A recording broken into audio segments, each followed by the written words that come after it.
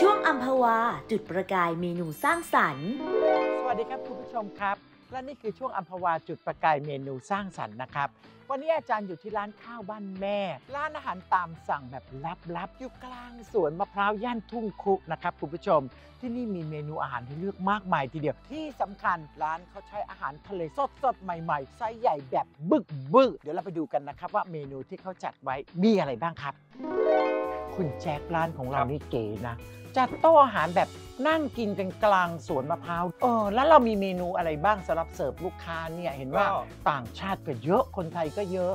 ครับผมก็จะเป็นพวกก้างกุ้งปลาหมึกหอยเชลล์อะไรพวกเนี้ยครับอาจารย์ ซีฟู้ดหมดเลยใช่ครับ เพราะว่าเรามี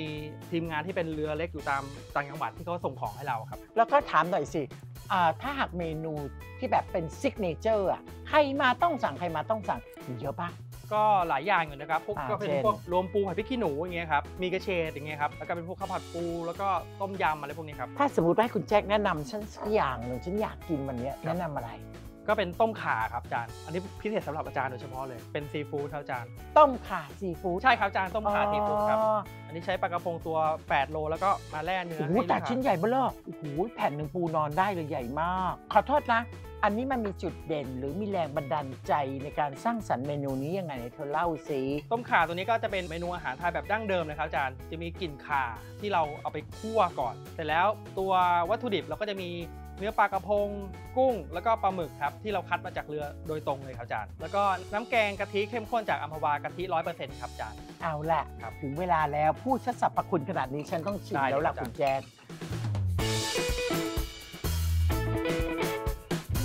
โอ้โห ต้องบอกเลยว่าอร่อยเข้มข้นหอมมัน เนื้อกุ้ง เนื้อปลา เนื้อปลาหมึก สดจริง ๆ เล่าวิธีทำแล้วก็แบบ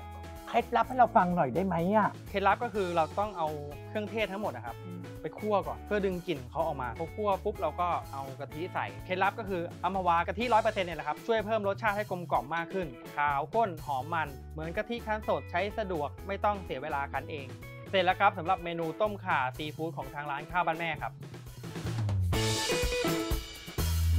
ต้องขอขอบคุณคุณแจ็คนะครับที่ใจดีมาช่วยจุดประกายเมนูสร้างสรรค์ แล้วก็บอกต่อเคล็ดลับความอร่อยให้กับเราในวันนี้ เมนูต้มข่าซีฟู้ดตำรับนี้รสชาติดีดีคุณผู้ชม เข้มข้นหอมมันแบบนี้รับไปเลยครับ ป้ายการันตีร้านเด็ดอัมพวาการันตีและเรายังมีกิฟต์เซตจากอัมพวากะทิร้อยเปอร์เซ็นต์มอบให้ด้วยนะครับ สัปดาห์หน้านะครับ อาจารย์จะไปพิสูจน์ความอร่อยกันที่ไหน และเป็นเมนูอะไรคุณผู้ชมต้องติดตามนะครับ อย่าลืมนะครับอัมพวากะทิร้อยเปอร์เซ็นต์ข้าวข้นหอมมันเหมือนกะทิคั้นสด